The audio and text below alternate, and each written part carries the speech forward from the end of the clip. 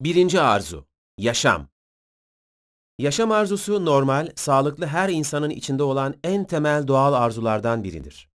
O kadar temeldir ki onun için diğer birçok doğal arzunuzdan çok rahat vazgeçebilirsiniz. Örneğin bir kumsalda susayıp su içmeye, acıkıp yemek yemeye, cinsel arzu duyup eşine yönelenleri düşünelim.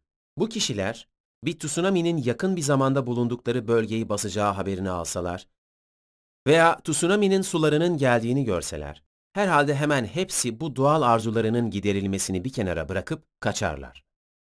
En zeki insandan ortalamanın altında zekaya sahip birçok insana kadar, insanların çoğu yaşam arzusuyla harekete geçer ve tsunami'den kaçar. Bu temel arzunun gücünü kısa bir içe bakışla, yani introspection'la kavrayabiliriz. Yaşam arzusuna özel vurgu yapan filozoflardan biri Schopenhauer'dur. Ona göre bu arzu irade her şeyden daha temeldir. Schopenhauer, intiharın bile yaşam arzusunun iradesinin bir reddi olmadığını, reddedilenlerin sadece acı çekmek ve yaşamın şartları olduğunu söyler. Albert Switzer de yaşam arzusunu teolojik, felsefi ve etik yaklaşımlarının temeline koymuştur. Yalnızca bu, yaşam iradesi her şeyde, bende olduğu gibi mevcuttur. Bunu bana bildirmesi için bilime de ihtiyacım yok. Zaten bilim bundan daha temel bir şeyi haber veremez. İnsan zihni diğer canlı türlerinin hepsinden farklı bir şekilde çok uzun bir geçmiş ve çok uzun bir gelecekle düşünerek ilişki kurabilir. Gelecekle içindeki yaşam arzusuyla ilişki kuran zihnin bir ahiret yaşamına karşı arzu duyması kaçınılmazdır. İçindeki yaşam arzusunun sesini dinleyen hiç kimseyi bu dünya hayatının tatmin edebileceğini sanmıyorum. Modern bilimsel veriler tüm evrenin büyük çöküş, big crunch veya büyük donma, big chill alternatiflerinden biriyle başka bir son senaryosu gerçekleşmezse son bulmasının kaçınılmazlığını göstermektedir.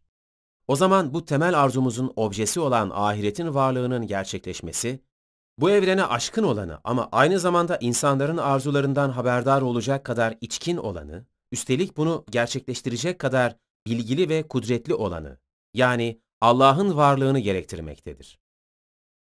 Modern bilimsel verileri bir kenara bıraksak da dağılmış bedenimizden varlığımızın yeniden iadesinin ancak kudreti ve bilgisi yüksek, arzularımızdan haberdar Allah'ın varlığıyla mümkün olduğunu görmek zor değildir.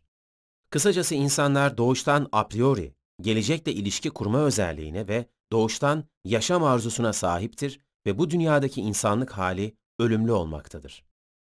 Sonuçta insanlığımıza içkin bu durumlar a priori olarak arzularımızın karşılanması için Allah'ın varlığına ihtiyaç duyduğumuzu gösterir. Bunun farkında olup olmamamız da bu durumu değiştirmez.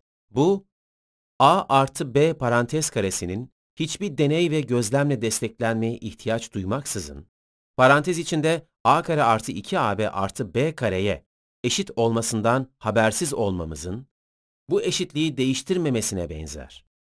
Allah'a karşı doğrudan bir arzunun varlığına, Agustinius gibi inanan kişiye, böyle bir arzuyu duymadıklarını söyleyerek karşı çıkanlar olabilir. Fakat burada hareket noktası böylesi itirazların getirilemeyeceği yaşam arzusudur.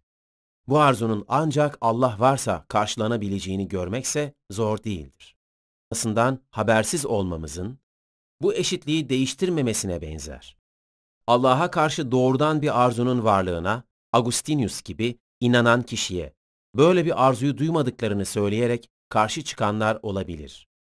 Fakat burada hareket noktası böylesi itirazların getirilemeyeceği yaşam arzusudur. Bu arzunun ancak Allah varsa karşılanabileceğini görmekse zor değildir. Bileceğini görmekse zor değildir.